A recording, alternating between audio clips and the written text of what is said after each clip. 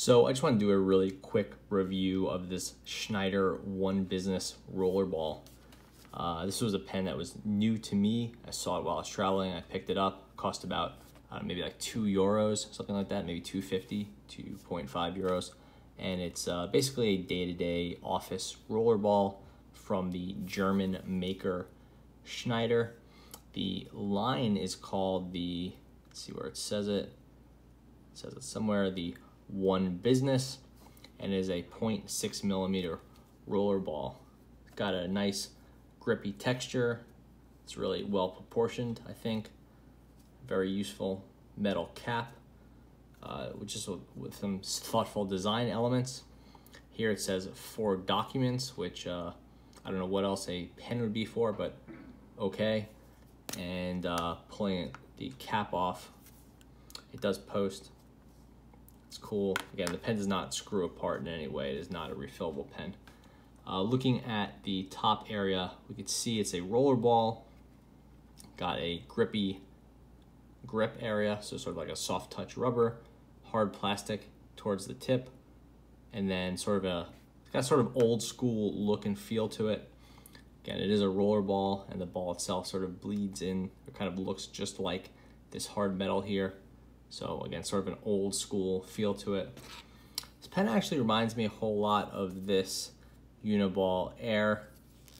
We could see here, have that sort of similar look to them and like similar tapering. Uh, and they actually write fairly similarly, similarly. Uh, so the uh, main thing with the Schneider is it's a is a business pen, so that you know the ink is uh, doesn't erase, it won't uh, be removed from checks easily. Uh, the attributes here are listed as ultra smooth tip, which I could confirm it is very smooth, 0.6 millimeter, which is, uh, I guess, a kind of a strange size, but uh, sort of nice.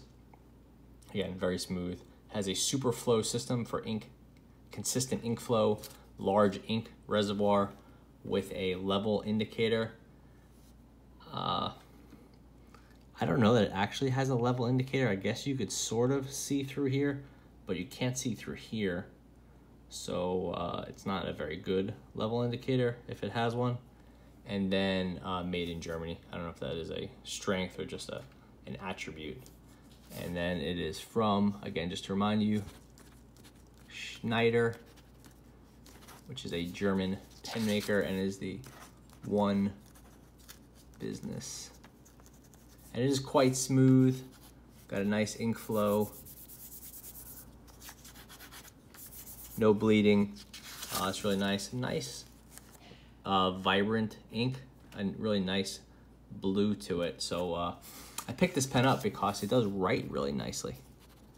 So it is a nice, smooth, quiet, consistent rollerball. It just seems like it's just a very uh, proficient pen and there's no uh, no pooling or anything like that. It's just like it just does what it's supposed to do really well.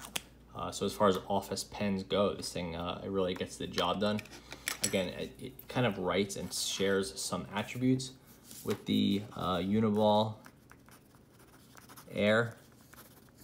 Uh, but the Uniball Air, I think, it always kind of feels like a felt tip to me, even though it's not. Uh, they are, I would say like this is the closest equivalent if you're looking for a day-to-day -day pen in America. But uh, this Schneider One Business, Schneider One Business is actually a, a really nice pen. I also like the proportions. Kind of has a fountain pen type look to it, which it has a nice big cap.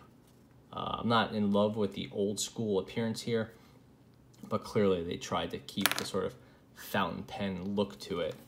And then uh, posted, again, it posts just like a a fountain pen with a, a really kind of fat top and uh, kind of heaviness to the end to it. So yeah, nice pen for two euros or you know two fifty dollars or you know two point five dollars or three dollars something like that. Yep. So that's the Schneider One Business. If you stumble upon one, I would say grab it. Thanks for watching.